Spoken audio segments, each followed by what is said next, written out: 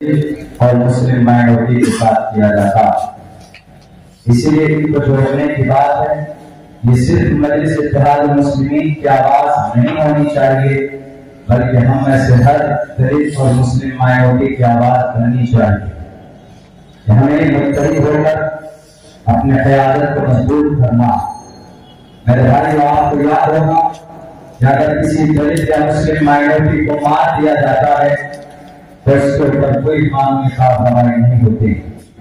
आप पढ़िए भारत के संविधान को आर्टिकल नंबर 12 से लेकर पैंतीस तक मुस्लिम माइनॉरिटी नहीं दलित भी नहीं, आदिवासी नहीं, बल्कि एक एक फर्द के लिए फंडामेंटल राइट्स हैं। अगर किसी को मारा जाता है, आर्टिकल नंबर चौदह का वायलेशन होता है, जिसमें कहा गया है equality before law or the equal protection of the laws within the territory of India. क्या माइनॉरिटी और मुसलमान इस आर्टिकल के अंदर नहीं आते? हम तो जानवरों के नाम पर कभी मार दिया जाता। अभी दो साल पहले ज्योति के अंदर एक हादसा हुआ। मार दिया गया उस नौजवान को चीखते रहे चिल्लाते रहे इंसाफ नहीं किया गया। क्या आर्टिकल नंबर इक्कीस का वायलेशन नहीं हुआ? यहाँ के बड़े बड़े नेता बैठे जो हाथ के थाने पैसे करते रहे एफ़ नहीं होना चाहिए। हमने कहा कि एफ़ नहीं होगा साहब तो अब्दुल्ला भी यही रजिस्टर डाल देगा, तब जाकर किसी किसी तरीके से उसका आर्टिकल इक्कीस का वायलेशन नहीं है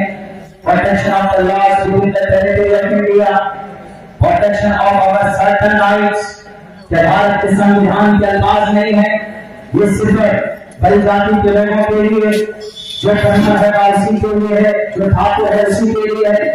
क्या मुस्लिम माइनॉरिटीज के लिए नहीं। अगर नहीं है तो फिर संविधान को क्यों मानते हो? संविधान की क्यों बात करते हो? आज हमारे दलित भाइयों को शुद्ध माना जाता है, नापाक समझा जाता है, उनको इबादत करने की परमिशन नहीं दी जाती। अरे जब उनको परमिशन ने एक, जब उनको परमात्मा ने एक पर एक प्लेटफॉर्म पर पैदा किया तो तुम कौन हो? उनको बांटने वाले। भारत के संविधान के अंदर आर्टिकल नंबर 25 कहता है कि सबको इबादत करने का और सबको खड़े होने का, सबको बोलने का अधिकार है। जब भारत का संविधान को परमिशन देता है तो आप कौन होते हैं करने वाले नहीं होता तो आर्टिकल 25 में लिखा हुआ freedom of and free profession and practice of religion क्या मतलब है इसका? क्या मुसलमानों के लिए क्या ये बड़े औहदे पर बैठे हुए अख्तियार के जो मालिक हैं उनके लिए क्या मुस्लिम ने दलितों ने प्रमाण पेश नहीं मेरे भाइयों मैं भी दो तीन रोज पहले कर्नाटक के अंदर में था तो वहाँ पर एक आदमी जब ठंडी में प्रोग्राम था, मजलिस के मेहनत थे तो वहाँ पर एक आदमी हमसे पूछता है दलित भाइयों में से था? उन्होंने कहा कि मौलाना जय भीम जय भीम का क्या मतलब है? हमने कहा कि जय भीम से बड़ा डॉक्टर भीमराव अंबेडकर उनका संविधान है। जय से क्या है हमने कहा भीम से बड़ा मुस्लिम अकलियत है और मुस्लिम अकलियत के साथ साथ डॉक्टर बड़ा हमने कहा कि एक ने संविधान बनाया है और दूसरा संविधान को बचाने की बात करता है। इसीलिए जय और जय मेरे इस सीमांचल के अंदर है। आर्टिकल थ्री सेवेंटी वन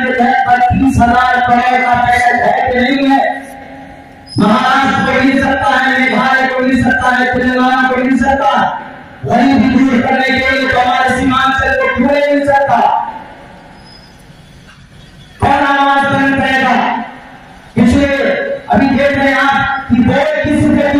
कि की आपकी कोई पूरे सीमांचल में है, सरकारी मेडिकल कॉलेज पूरे सीमांचल के अंदर में दिखाई दे रही बड़ी पानी लेगा गवर्नमेंट की तरफ़ से आपको वोट दिया जाता है, आपको बेवकूफ़ बनाया जाता है।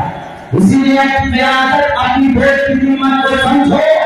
और अपने पैरों पर खड़े अपने हुकूम का मुतालबा करो अभी देखिए किशन मुल्क के अंदर।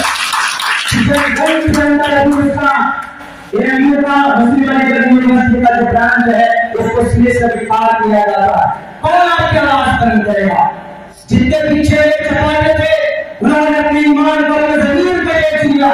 अगर सीमांचल को इंसाफ दिलाया जा सकता है तो मैं गारंटी के साथ कहता है मजीद को मज़बूत कीजिए, इंशाअल्लाह।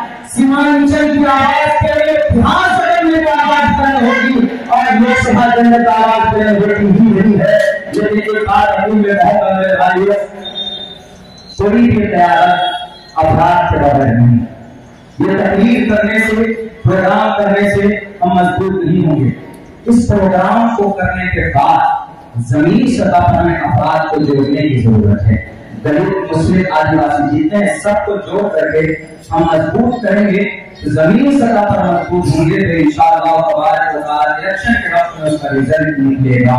इसे ज़मीन सतह पर अपराध को जोड़ने की सख्त ज़रूरत है। प्रोग्राम समय मैसेज मिलता है, जमीनी सतह पर जो भी तरतीब जो भी निज़ाम बने एक एक फर्द को जोड़ने की ज़रूरत है।